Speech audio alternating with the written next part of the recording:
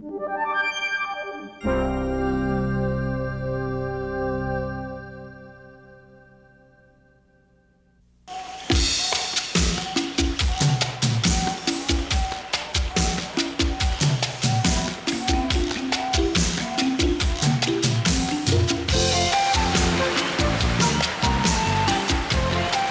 plants in the interior bring the beauty and lushness of nature into our homes and offices and shopping centers. Hello, I'm Charlie Saccomano. People love this kind of environment. They respond to it in a very positive way. Unfortunately, plants don't always respond positively to being brought inside. They can develop problems. Like people, plants can fall prey to diseases or insect pests. This program is designed to help you diagnose what's wrong when problems occur. Equally important, we'll cover some recommended treatment to deal with specific problems should they pop up. Experience, more than anything else, is our most effective diagnostic tool. A good diagnostic procedure is thorough and systematic and begins with the knowledge of what a normal healthy plant of each species or cultivar looks like. Then, when there's a slight change in plant appearance, a noticeable effect of the disorder, called a symptom, we should notice it right away. And that early detection is critical to taking care of problems before they really become serious. With experience comes another kind of knowledge that in certain situations there are certain things to look for, or that certain plants are susceptible to this or that problem. A careful investigation of plant disorders involves a two-step approach. One is a methodical, close-up examination of the plant. The other, which is equally important, could be called the stand back and have a look at the big picture approach. One thing you want to know is if the problem exists on just one plant, on one species of plant, or on a number of unrelated plants in the same area. Work up a case history of environmental conditions such as light, temperature, and so forth. In Volume 3 of this series, we've covered those basic plant growth requirements and explained what plants need for good health and appearance in the interior scape. Go back over those needs carefully as you check such things as the plant container and soil characteristics, cultural practices such as watering and fertilization, pest control measures, or the use of any other material, such as leaf cleaner, for example. Any of these might cause a problem, or as more often happens, two or more factors interact to create or at least encourage a problem. For example, hot, dry conditions in a growing environment encourage a buildup of two-spotted spider mites. One fertile female of this pesky mite can produce over one million offspring in 30 days with temperatures at 80 degrees Fahrenheit. Another example, high fertility levels and excessively dry soil conditions can intensify problems with soluble salts, which can be very damaging and cause lots of problems with tropicals in the interior scape. There are a few tools that will be helpful in reaching an accurate diagnosis of plant problems. Now, these include a light meter, a thermometer, a 10 to 20 power magnifying glass, a sharp knife and hand pruning shears, a hygrometer, a SoluBridge, and a hand pH meter. Interior landscape plants should be inspected often, perhaps weekly, to pinpoint problems before serious damage occurs. In the close-up examination of plants, carefully check buds, unfolding leaves, and leaf axils, as well as upper leaf surfaces and stems. Whiteflies congregate on lower leaf surfaces, but you may find scale insects on upper or lower leaf surfaces or on stems. Mealybugs attack all parts of the plant, including roots, but they're often found clustered on stem tips and new growth. The cause of a problem might be in the container or growing medium, so remove the affected plant from the pot and inspect the root system and the medium in which it grows. Now, obviously, you can't do this with a large plant unless you're Arnold Schwarzenegger, but it is possible with smaller plants. Root problems may be your most difficult to diagnose because above ground symptoms common with root problems, such as brown leaf margins or tips, chlorosis or leaf drop, are fairly general and could be symptoms of a number of other problems. Another important point is that symptoms of plant disorders may vary somewhat from plant species to plant species. And finally, let's not lose sight of one well-documented fact. Many, if not most of the plant problems that you're going to see in the interior landscape are the result of cultural or environmental mismanagement rather than insect pests or diseases. So, the obvious solution has to do with changing your cultural practices or the plant's environment to produce a healthier result. Once you've carefully evaluated the symptoms of, or the disorder and have a case history of plant care practices and environmental conditions, you can begin to narrow the field of possible causes to those that seem most likely in a particular situation. Now, if you can't positively identify the cause, consult with an outside expert or try corrective measures for the most likely possibilities one by one until the problem disappears or the plant simply reaches a point where it has to be replaced. Sure, it's a hit and miss approach, but in the real world, sometimes that's all you can do. Whole volumes have been written about plant problem diagnosis. It would be impossible to cover all of this information in one program. What we'd like to do is show you some of the most common problems along with some of the possible causes. Notice a change in leaf color, general yellowing, or chlorosis? Problem could be light levels that are either too high or too low, excessively high air temperatures, or even nitrogen deficiency. Are young leaves chlorotic? Could be caused by deficiency of iron or manganese, occasionally copper or zinc deficiency, or even a phytotoxic response to pesticides. Yellow spots of variable size and irregular shape on leaves, several possible causes. Cold water injury, virus or virus-like organisms, fungal or bacterial infection, phytotoxic response to pesticides or fertilizer, air pollutants, leaf miner injury, or light intensity that's too high. Regular or usually round spots on the leaves, often a sign of infection by fungi or bacteria, phytotoxic response to pesticides, fertilizers, or air pollutants. Do variegated leaves change to green? Check for low light intensity or excessively high fertilization rates. Could also be a genetic change or that the light levels are too low. Find a mosaic or new color pattern well, possibly virus infection, cold water injury, or phytotoxic response to pesticides. Do the leaves show a speckled or generally stippled pattern? The first thing to check for is spider mites or thrips. Does an area of leaf tissue have a water-soaked or greasy appearance? Could be an early symptom of high or low temperature injury, bacterial or fungal infection, even foliar nematodes. Now here's a common problem. Leaf margins or tips turn brown. Check for high soil salinity, high or low temperature injury, low relative humidity, inadequate water supply, pesticide phytotoxicity, feeding of spider mites, high levels of soil boron or fluorine in the water. Another very common problem with tropicals, brown dead areas within leaf blades. Well, this is symptomatic of fungal or bacterial infection, cold water injury, leaf miners, phytotoxic response to pesticides or fertilizers, or foliar nematodes. Are the leaf margins brown, or are there brown areas within the leaf blade? The problem could be too much cold air ducted onto the plant, water damage, or phytotoxic response to pesticide or fertilizer. Is the plant dropping leaves excessively? This is a common symptom when highlight plants are moved into low-light locations without being acclimatized first. It could also signal high soil salinity, or either too much or too little water.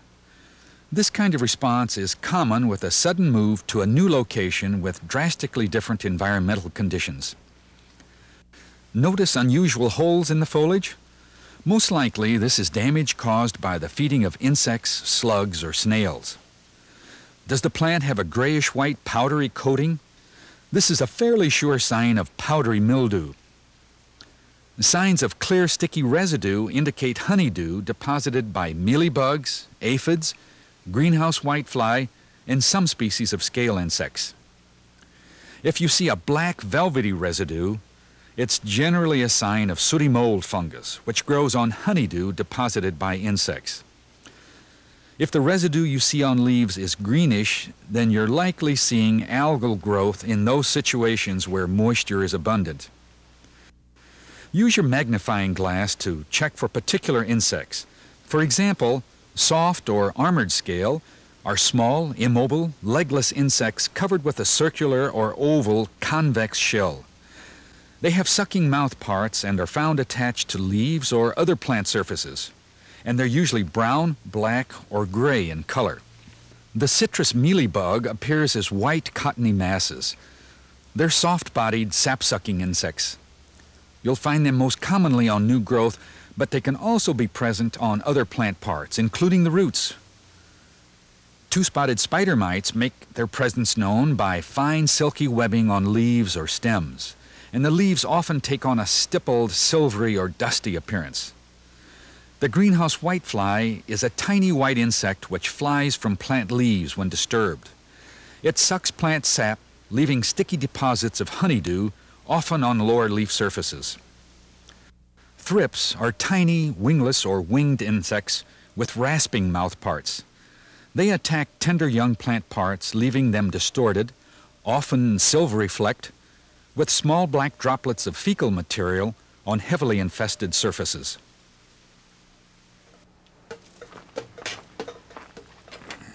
Using chemicals in interior situations to control insect pests has to be done with extreme caution.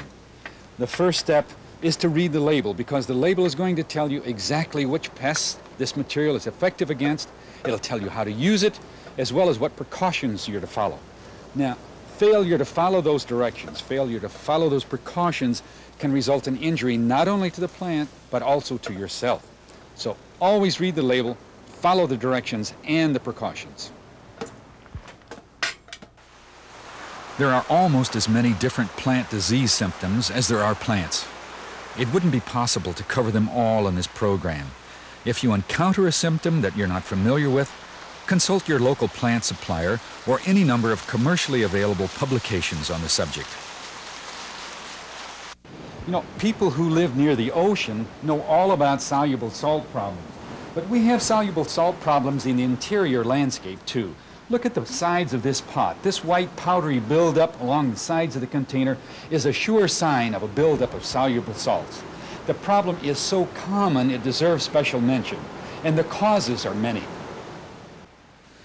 Using poor quality, salty irrigation water, especially water high in magnesium, calcium, and chlorides and carbonates excessive rate or frequency of fertilization, poor drainage and aeration of the growing medium, improper watering, not applying enough at each irrigation to moisten the entire soil mass with a little excess flow out through the container drainage hole, or allowing a container to stand in drainage water so that the salts are reabsorbed into the growing medium. A high level of soluble salts in the growing medium reduces water absorption by plant roots. And in extreme cases, water actually moves out of the roots and back into the growing medium. Symptoms of the problem include stunted growth, foliage wilt even when the soil is moist, leaves that first become chlorotic, then turn brown at the tips and along the margins.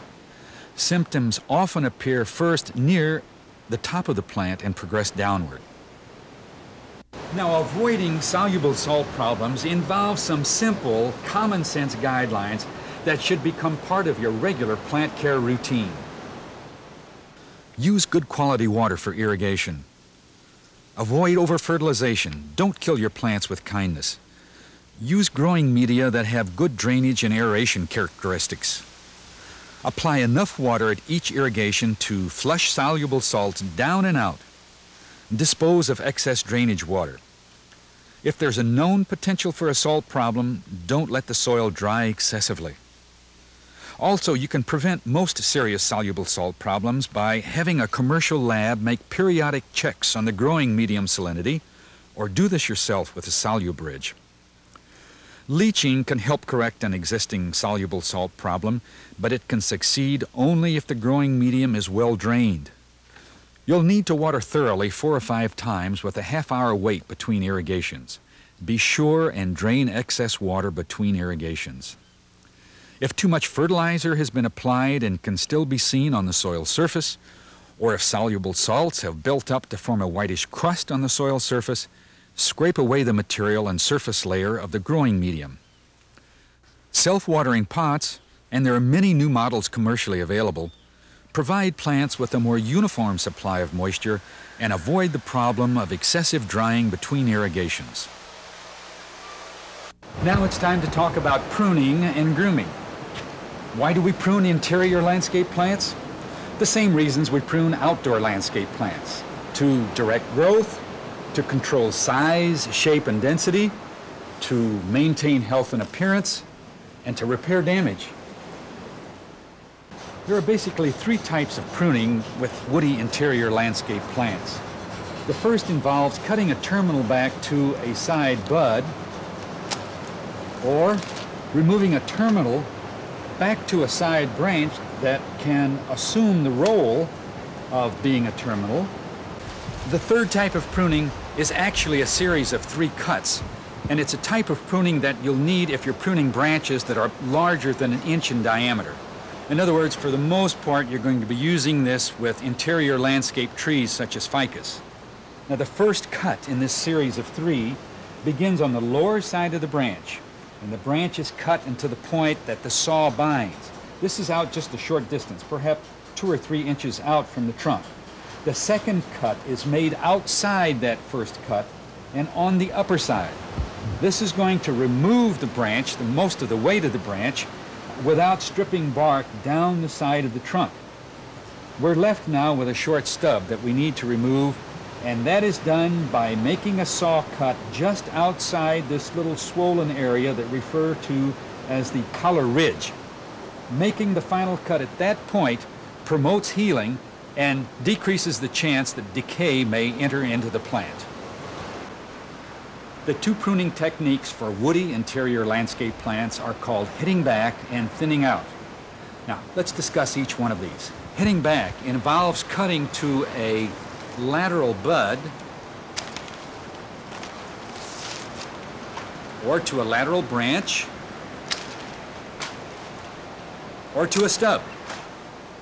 Now the response to this kind of pruning is that the buds in the area of the pruning cut are going to grow most rapidly. There won't be much growth from below that. This growth is very vigorous, it's very upright, and it's weakly attached it is usually so dense that if there is any growth down here, it's going to be shaded out. That's heading back. Now the second type of pruning technique is called thinning or thinning out. It involves pruning terminals back to a, a lateral branch. Uh, in some cases, pruning out small lateral branches at their point of origin. And the plant response to this type of pruning is that it becomes more open, but most importantly, it retains its natural appearance. And for most interior scape plants, this is the preferred technique of pruning. Frequent light pruning is less drastic, less noticeable, and therefore more desirable than infrequent heavy pruning. Since interior landscape plants generally grow slower and less dense than in a production area, they recover more slowly from severe pruning.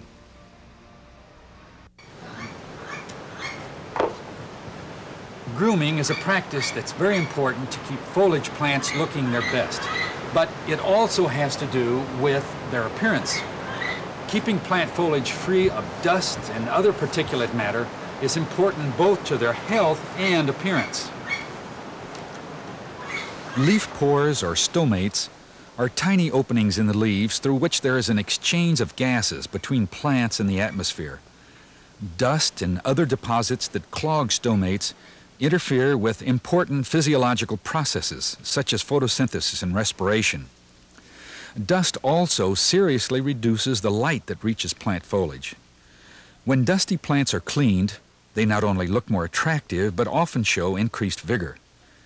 Cleaning plant foliage also removes mites, thrips, mealybugs, aphids, and scale crawlers and the eggs of these pests, as well as honeydew and sooty mold deposits. The need to clean plant foliage depends on air quality. The more suspended material there is in the air, the more frequently plant foliage is going to need to be cleaned. Generally, the interval will vary between once each week to once a month. Cleaning techniques vary with leaf characteristics. If the plant has large foliage, each leaf should be washed separately, wiping both surfaces clean with a damp cloth or sponge. Support one side of the leaf with your hand while cleaning the other. Newly emerged and young expanding leaves are often too delicate to clean in this way. These can be cleaned with a fine spray of water. Shake off any droplets of water that remain on the leaves to prevent spotting. Plants with finely divided foliage can't be cleaned in the same way without a certain amount of mechanical damage. A fine spray of room temperature water over the leaves will remove dust, lint, and other accumulations. Leaves with a corrugated, irregular surface are best cleaned with a fine spray of water or a soft brush. A soft brush is also best for cleaning hairy-leaved plants like African violet or velvet plant. The diagnosis and treatment of plant problems is probably one of the greatest challenges facing the interior landscape profession. Just remember, there's no substitute for management by walking around so that you can detect and treat those problems as soon as they appear. We hope our program will help you do just that. I'm Charlie Saccomano. Good luck.